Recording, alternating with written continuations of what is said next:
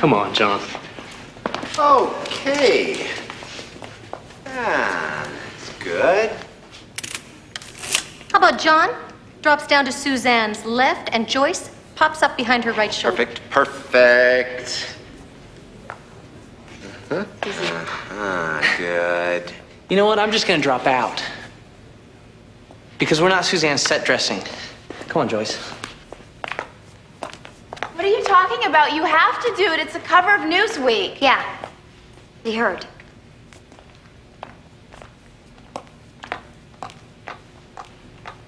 What just happened here? Get used to it, baby. How did they get this picture? They must have pasted it together with publicity stills.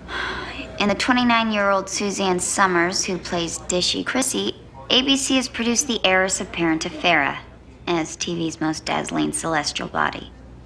The actress who played the blonde in the T-Bird in American Graffiti is not exactly offended about finding herself in a dishabille each week. I enjoy it, Summer says, with a chuckle. Do they think she's the star of the show? The question is, does Suzanne think she's the star of the show? Hey, guys. Hey, Hey, I guess you saw the cover. yeah, we saw it. Look, I'm really sorry about them featuring me, but it was my people, not me.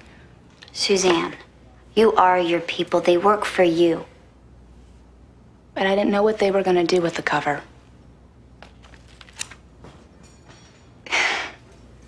Come on, guys, I love you. I wouldn't be where I was without you guys.